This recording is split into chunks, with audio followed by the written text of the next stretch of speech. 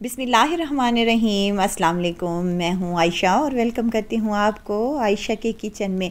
आज मैं बीफ का मज़ेदार सा सालन तैयार कर रही हूँ। ना ही इसको कहेंगे कोरमा, ना कढ़ाई। फिर भी ये इतनी कोई टेस्टी और मज़ेदार होगी और ग्रेवी तो इसकी इतनी क्रीमी, टेस्टी और सिल्की स्मूथ होगी कि ना ही इसमें हम डालेंगे कोई भी एक्स्ट्रा मिसाला। ना ही इसमें जाएगी दही, ना क्रीम, ना ही काजू बादाम। फिर भी ये कोई इतनी टेस्टी और मज़ेदार बनेगी कि आप लोग खाते ही रह जाएँगे। रेसिपी को आपने एंड तक ज़रूर देखना है। अच्छी लगे तो लाइक, शेयर ज़रूर कर दें। तो चलते हैं किचन में और आज की ये मज़ेदार सी रेसिपी को बनाना स्टार्ट कर लेते हैं। बिस्मिल्लाह करते हैं। तो सबसे पहले यहाँ पर मैंने ले लिया है बीफ। ये बीफ का गोश्त है जिसमें मैंने हड्डी और मिक्स गोश्त लिया है। यहाँ पर बोनलेस पीसेस भी शामिल हैं और हड्डी वाला गोश्त भी है। मैंने इसे दावत के लिए बनाया था तो आप इस रेसिपी को दावत में भी बना सकते हैं। मेरे पास तकरीबन ये दो किलो के बराबर मिक्स गोश्त है। तो सबसे पहले इसको मैंने अच्छे से वाश कर लिया है। उसके बाद यहाँ पर मैं डालूँगी एक कप फीटा हुआ दही। दही शामिल करने के बाद मैं इसमें कुछ मिसाले शामिल करूँगी, जिसमें खुश्क धनिए का पाउडर जाएगा, एक टेबल स्पून। हल्दी हाफ़ टेबल स्पून जाएगी और लाल मिर्च का पाउडर एक टेबल स्पून इसमें चला जाएगा। और मैं इसमें ज़ीरा पाउडर भी शामिल करूँगी हाफ़ टेबल स्पून के करीब। और इसमें जाएगा नमक half table spoon half table spoon डाला है, बाद में भी हम चेक करके इसको सेट कर सकते हैं। डेढ़ चम्मच यहाँ पर मैंने अदरक लहसुन का पेस्ट शामिल कर दिया है। साथ में हरा धनिया एक मुट्ठी के बराबर और और यहाँ पर फ्रेश पुदीने के पत्ते भी शामिल करूँगी। इससे इस सालन का टेस्ट सौ गुना बढ़ जाएगा। मिक्स कर लेंगे अच्छे तरीके से। और अगर आपके पास टाइम है तो आप इसको ओवरनाइट के लिए भी रख सकते हैं। नहीं तो आप दो से तीन घंटे इसको लाजमी मैरिनेशन के लिए साइड पर रख दें। मैंने कवर लगा दिया है और तकरीबन दो घंटे के लिए मैंने इसको मैरिनेट किया है। उसके बाद यहाँ पर मैं एक पतीली ले लूँगी, जिसमें शामिल करूँगी मैं एक कप कुकिंग ऑयल का। ऑयल हल्का सा गर्म हो जाए तो यहाँ दो मीडियम साइज़ के मेरे पास प्याज हैं, जिसे मैंने रफली सा काट लिया है। और यहाँ तीन अदद मेरे पास टमाटर थे, जिनको मैंने रफली सा मोटा मोटा सा काट लिया है। अब हमने क्या करना है कि इनको अच्छे तरीके से हमने भून लेना है। प्याज़ों को कोई कलर वगैरह नहीं देना, बल्कि हमने टमाटर और प्याज़ों को सॉफ्ट होने तक अच्छे तरीके से फ्राई कर लेना है। यहाँ पर मैं हाफ़ टेबल स्पून इस स्टेज पर नमक शामिल कर रही हूँ। हाफ़ टेबल स्पून हमने बीफ में भी नमक शामिल किया था। आप अपने टेस्ट के मुताबिक नमक कम या ज़्यादा कर सकते हैं। नमक डालने का मकसद ये है कि हमने इनको अच्छे से सॉफ़्ट करना है। नमक डालेंगे तो ये टमाटर बहुत ही जल्दी सॉफ़्ट हो जाएँगे। पाँच से सात मिनट लगेंगे। हमें इन्हें फ्राई करते हुए तो टमाटर बहुत अच्छे से सॉफ्ट होना स्टार्ट हो चुके हैं। तो इसी स्टेज पर हम बीफ जो हमने मैरिनेट करके रखा था, वो इसमें शामिल कर देंगे और इसकी भुनाई शुरू कर देंगे। इस बीफ में हमने दही का इस्तेमाल किया है तो इसलिए बीफ अपना पानी छोड़ेगी और दही भी अपना पानी छोड़ेगी तो इसी पानी में ही हमने इस बीफ को गला लेना है। अगर आप कि बीफ की रिक्वायरमेंट हो तो आप इसमें हाफ़ कप पानी का भी शामिल कर सकते हैं। मैंने मिक्स कर लिया है अच्छे तरीके से और इसको मैंने कवर लगा दिया था तकरीबन पाँच से सात मिनट के लिए। हाई फ्लेम पर हमने इसको पकने के लिए छोड़ दिया था। देखें, माशाल्लाह से अच्छा खासा पानी निकल आया है और इसी पानी में ही हमने इसको अच्छे से गला लेना है बीफ को। वीडियो स्टेज पर अगर आपको ज़रा सी भी अच्छी लग रही है तो लाइक करें, सब्सक्राइब करें और साथ में बेल आइकन के बटन को भी ज़रूर प्रेस कर दिया करें ताकि मेरी हर नई आने वाली वीडियो आप तक पहुँचती रहे। यहाँ पर मैंने हाफ़ टी स्पून के करीब कश्मीरी लाल मिर्च का पाउडर शामिल किया है। अगर आपके पास हो तो लाजमी डालिएगा। इससे सालन का कलर बहुत ही अच्छा आता है। दोबारा से मैंने इसको कवर लगा दिया है और तकरीबन मैंने आधे घंटे के लिए इसको कवर लगाया था। देखिए, माशाल्लाह से आधे घंटे के बाद हमारा जो बीफ है वो अच्छे से टेंडर हो चुका है और ऑयल भी काफ़ी हद तक ऊपर आ चुका है। अब यहाँ पर मैं डालूँगी हरी मिर्चें, काट कर डाल लें। आप चाहें तो साबित भी शामिल कर सकते हैं। नहायत ही टेस्टी और मज़ेदार सा ये सालन और ग्रेवी चेक करवाऊँ मैं आपको कितनी सिल्की और स्मूथ बनी है और ज़रा बराबर भी नहीं लग रहा कि इसमें हमने टमाटर और प्याज का यूज़ किया है। सिल्की स्मूथ और टेस्टी सा ये हमारा सालन बनकर तैयार हो चुका है। यकीन करें, ये इतना टेस्टी बनता है कि आप इसे एक दफ़ा जब बनाएँगे तो आप बार बार इसी तरह बनाना पसंद करेंगे। बिल्कुल सिंपल मिर्च मिसालों के साथ आप ये टेस्टी सा सालन बनाकर तैयार कर लूँगी। यहाँ पर मैंने फ्लेम को ऑफ़ कर दिया है, क्योंकि मुझे ऐसे ही चाहिए। तो यहाँ पर मैंने इनको नान के साथ सर्व किया है। आप इसे रोटी चपाती के साथ भी ले सकते हैं। एक दफ़ा ज़रूर ट्राई कीजिएगा और दुआओं में मुझे ज़रूर याद रखिएगा। खुश रहें, खुशियाँ बांटें। इजाज़त चाहती हूँ, फिर आऊँगी इन एक नई और मज़ेदार सी चटपटी रेसिपी के साथ। आयशा को दीजिए इजाज़त, अपना बहुत सारा ख्याल रखिएगा। दुआओं में मुझे याद रखिएगा। अल्लाह हाफिज़। बिसमीम वालेकुम मैं हूँ आयशा और वेलकम करती हूँ आपको आयशा की किचन में। आज मैं आपसे शेयर कर रही हूँ नहायत ही मज़ेदार और टेस्टी से रेशादार कबाब की रेसिपी, जो कि बनाने में बेहद आसान है। अब आपको घंटों कबाब को ना ही तो सिलबट्टे पे कूटना पड़ेगा, ना ही आपको चॉपर की ज़रूरत पड़ेगी। एक ही बर्तन में अहम आज ये रेशेदार से कबाब बनाएँगे। नहायत ही टेस्टी और मज़े के बनते हैं। और मज़े की बात यह है कि आप इसको दो से तीन महीने के लिए फ्रीज़र में महफूज भी कर सकते हैं। तो चलते हैं रेसिपी की तरफ़ और ये मज़ेदार से, रेशेदार से कबाब बनाना स्टार्ट कर लेते हैं। यहाँ सबसे पहले मैंने प्रेशर कुकर ले लिया है। दाल है मेरे पास, तकरीबन आधा किलो के बराबर, जिसको मैंने दो घंटे पहले भिगो कर रख दिया था। इसको प्रेशर कुकर में शामिल कर दें। अब यहाँ पर मेरे पास चिकन है, हड्डी वाला भी है और बोनलेस भी है। हड्डी वाला इसलिए शामिल कर रहे हैं कि इस हड्डी से जो जूस निकलेगा, वो उससे ये कबाब नहायत ही रेशेदार और मज़ेदार बनेंगे। बड़े बड़े पीसेस इसलिए करवाए हैं कि इनको बाद में हम निकाल लेंगे। एक बड़े साइज़ का प्याज है मेरे पास, जिसको स्लाइसिस में कट कर कर शामिल कर दिया है मैंने, और डेढ़ चम्मच भर कर लहसुन अदरक का फ्रेश पेस्ट मैंने शामिल किया है। यहाँ पर थोड़ा सा आधा चम्मच के बराबर मैंने लहसुन का पाउडर भी शामिल किया है। नमक डेढ़ टेबल स्पून शामिल करने लगी हूँ।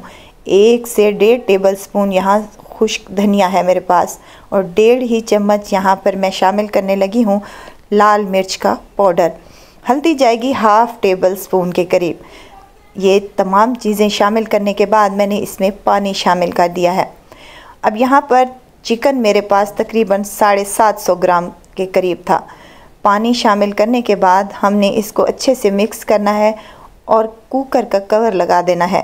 और पानी मैंने तकरीबन एक लीटर के बराबर शामिल किया है। आपकी दाल की या चिकन की जितनी रिक्वायरमेंट हो, आप उस हिसाब से पानी कम या ज़्यादा कर सकते हैं।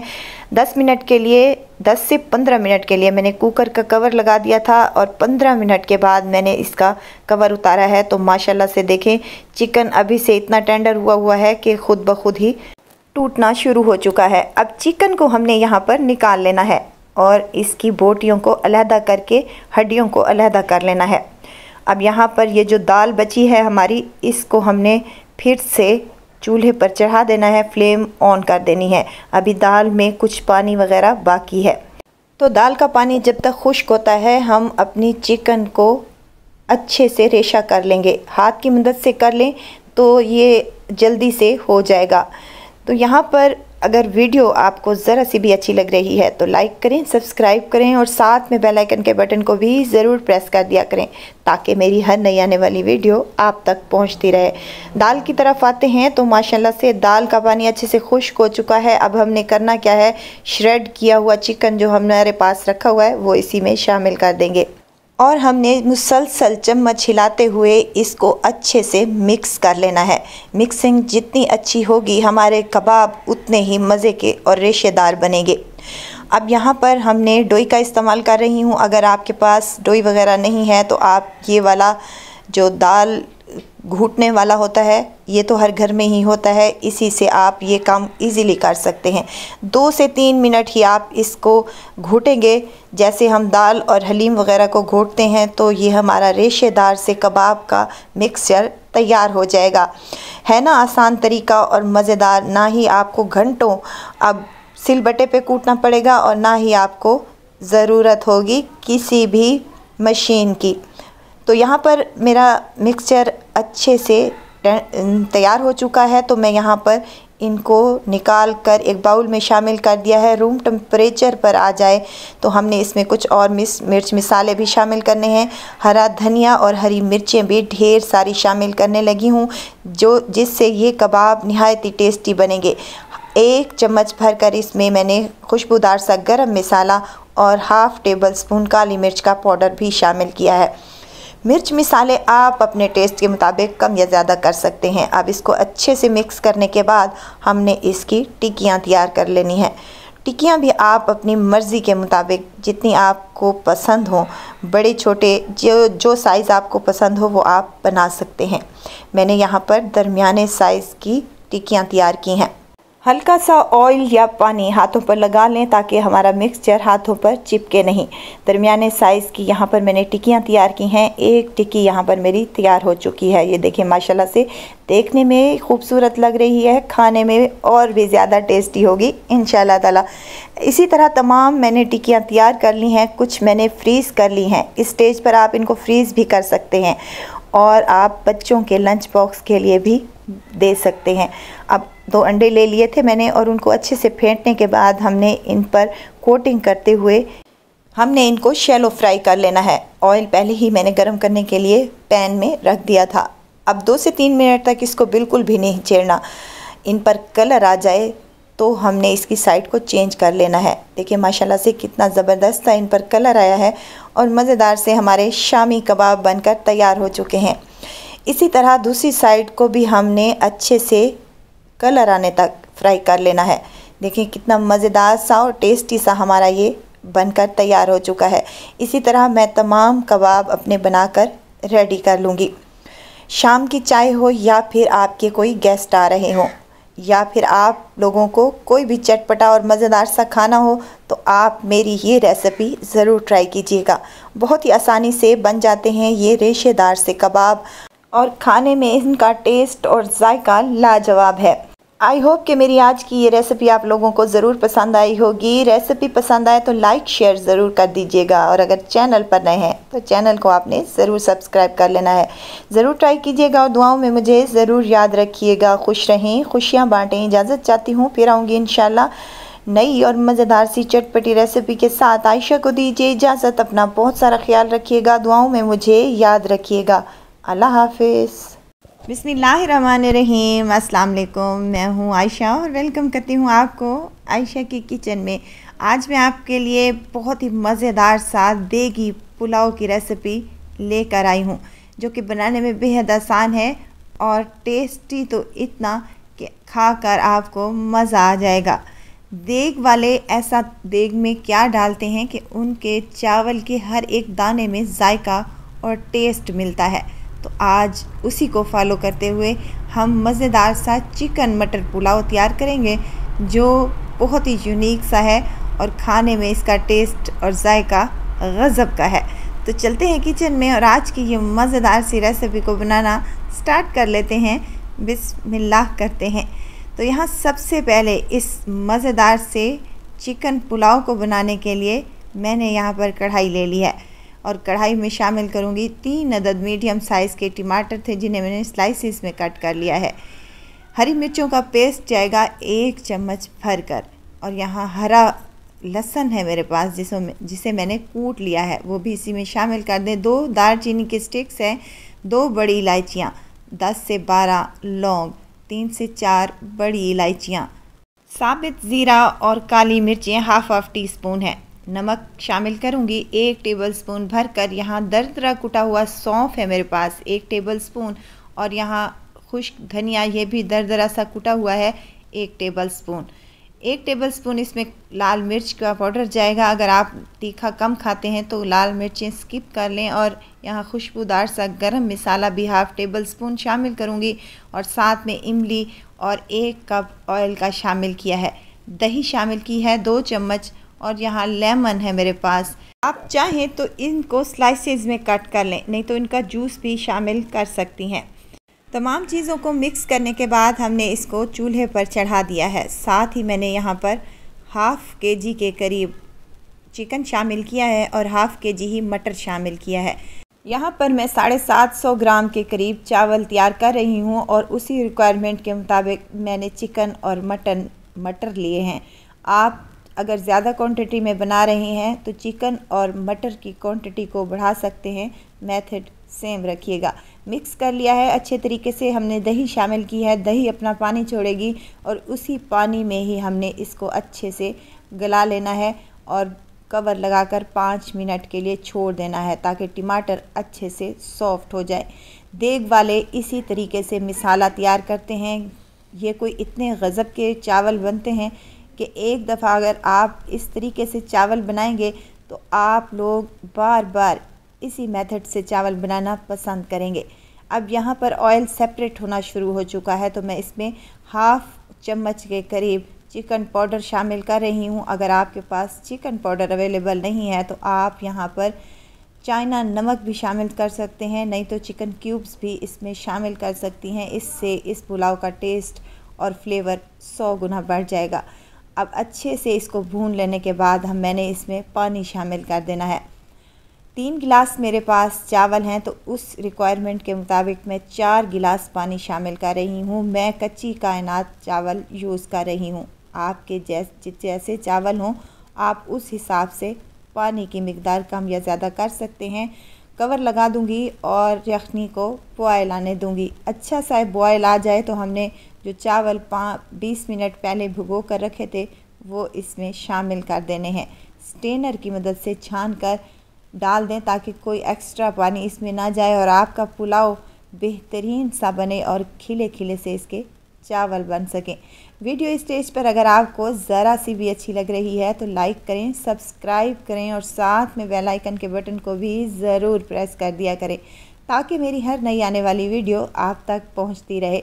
पाँच मिनट तक मैंने इसको कवर कर दिया था। पाँच मिनट के बाद देखें माशाल्लाह से चावलों ने पानी अच्छा सा सोख करना शुरू कर दिया है। इस स्टेज पर हमने इसकी अच्छे से मिक्सिंग कर लेनी है और हमने इसका नमक भी चेक कर लेना है।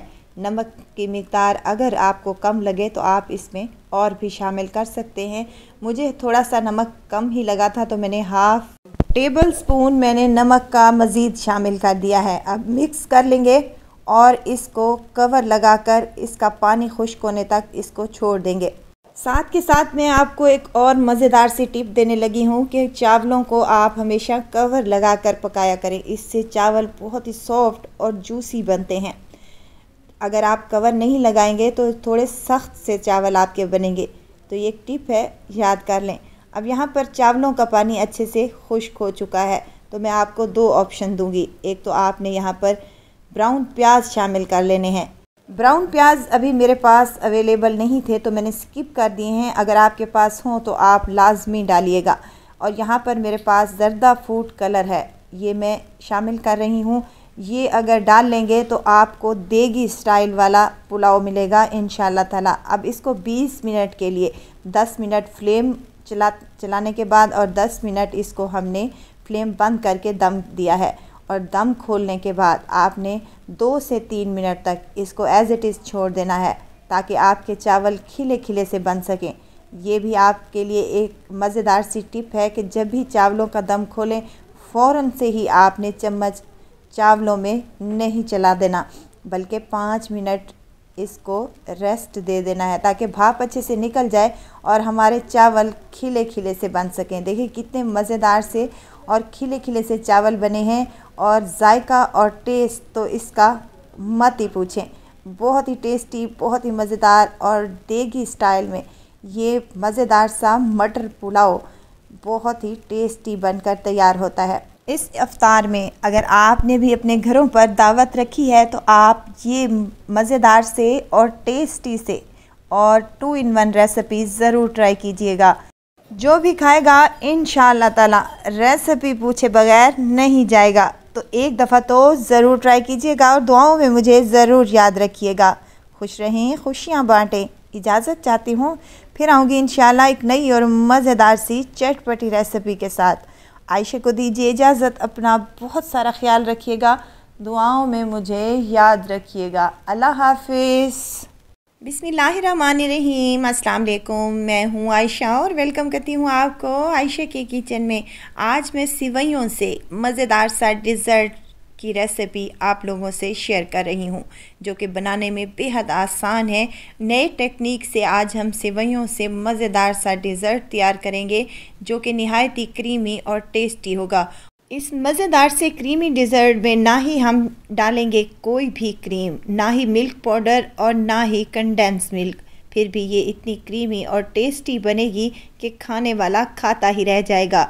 तो रेसिपी बहुत ही आसान और मज़ेदार सी होने वाली है। तो रेसिपी को तो आपने एंड तक ज़रूर देखना है। अच्छी लगे तो लाइक शेयर ज़रूर कर दीजिएगा।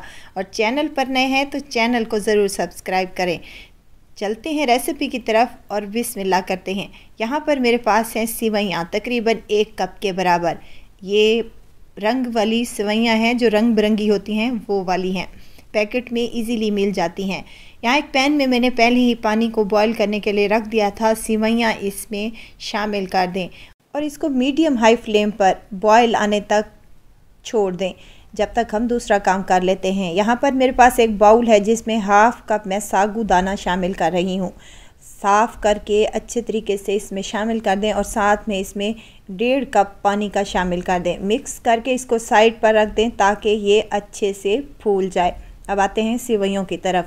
सिवैयाँ माशाल्लाह से अच्छे से टेंडर हो चुकी हैं, गल चुकी हैं तो इसको हमने छान लेना है और साइड पर रख देना है।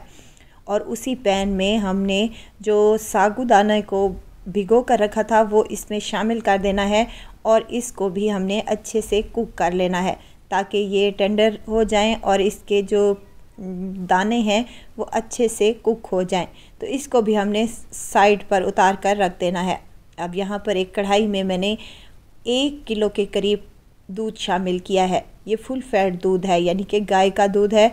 आप यहाँ पर पैकेट वाला दूध भी इस्तेमाल कर सकते हैं। इसको बॉयल आने दें जब तक हम दूसरा काम कर लेते हैं। यहाँ पर मैंने एक बाउल में दो चम्मच कस्टर्ड पाउडर के शामिल किए हैं और हाफ़ कप इसमें दूध का शामिल किया है और अच्छे से मिक्स करने के बाद हमने इसको साइड पर कर देना है।